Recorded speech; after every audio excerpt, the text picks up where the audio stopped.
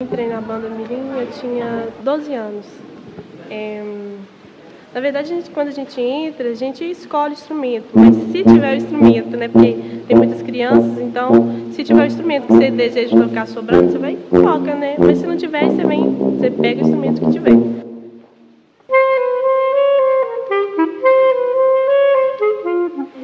Gabriel, tenho 11 anos, sou da banda Mirim, vou fazer 5 anos na banda Mirim.